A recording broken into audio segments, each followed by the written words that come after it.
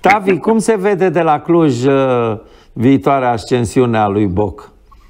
Că de uh, coborât, de coborât uh, sub pământ pentru metrou n-a început, dar are uh, politice a luat așa spre, spre național. Faceți mișto.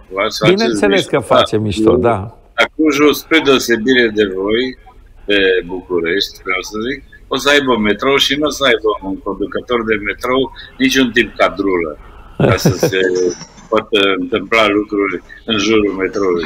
Vor avea doar niște cârcotași ca voi și care nu le place Emil Boc, care a avut săracul și perioade triste cu conducerea lui Băsescu, dar eu cred că în curând Emil Boc va fi unul dintre candidații pentru președinția României. Uh, spre deosebire de Ludovic Orban, el a știut să se retragă, aduceți aminte, s-a da. retras subit, direct, la Cluj, nici mâc nu s-a mai auzit. Și a pus cenușă în cap pentru tot ce s-a întâmplat, pentru ce l-a obligat Băsescu să facă.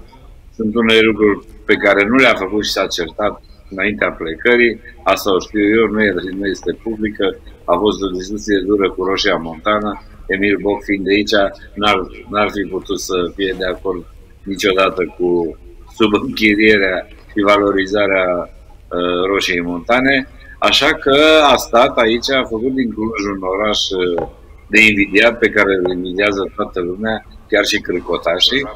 Și atunci eu cred că ar putea fi un viitor candidat pentru că nu-i hoț, n-are averi, uh, nu îi se pot reproșa foarte multe, nu este apucător ca așa. Exact opusul ceea ce, ce reprezintă Ludovic Orban acum. Adică un om a cărui uh, viață politică s-a încheiat, uh, el ce rămâne din Orban, dacă ne uităm din conducere, când, cât timp a condus PNL-ul, o imagine, o ipostază extraordinară, două. Una cu el la când, chitară, cântând Mândruțo, ce te-aș bate, ce capete în gură să-și da. Și doi, uh, mai rămâne poza aia de la Iarmaroc cu el cu maimuța pe, pe umăr. Cam asta e uh, prinosul pe care l-a adus liberalismului. Bine, ar putea să-i reproșez multe.